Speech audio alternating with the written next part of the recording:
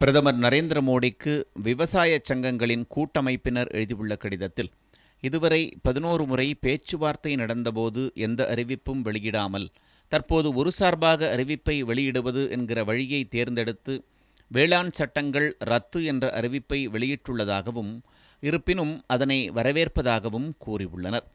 அதே நேரத்தில் பேச்சுவார்த்தைகள் நடந்த காலகட்டத்தில் முன்வைக்கப்பட்ட மூன்று கோரிக்கைகள் குறித்து அறிவிப்பு வெளியிடாதது ஏமாற்றத்தை அளித்துள்ளதாகவும் குறைந்தபட்ச ஆதார விலை சட்டம் மின்சார திருத்தச் சட்டத்தை திரும்பப் பெறுவது காற்று மாசு சட்டத்தில் விவசாயிகளுக்கு எதிரான தண்டனை பிரிவுகளை நீக்குவது ஆகிய மூன்று கோரிக்கைகளையும் நிறைவேற்ற வேண்டும் என்று பிரதமர் நரேந்திர மோடியை விவசாய சங்கங்களின் கூட்டமைப்பு வலியுறுத்தியுள்ளது.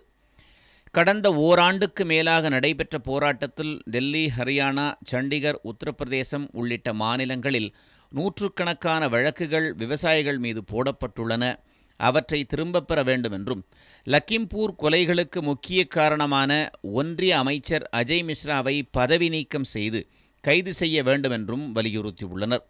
போராட்டத்தில் உயிரிழந்த எழுநூறு விவசாயிகளின் குடும்பங்களுக்கு மறுவாழ்வு திட்டத்தை அறிவிக்க வேண்டும். சிங்கு எல்லையில் நினைவகம் அமைக்க நிலம் வழங்க வேண்டும் என்பன உள்ளிட்ட ஆறு கோரிக்கைகள் நிறைவேற்றப்பட்டால் மட்டுமே போராட்டம் கைவிடப்படும் என்றும் அதற்கான பேச்சுவார்த்தையை உடனடியாக தொடங்க வேண்டும் என்றும் பிரதமருக்கு எழுதியுள்ள கடிதத்தில் விவசாயிகள் வலியுறுத்தியுள்ளனர்.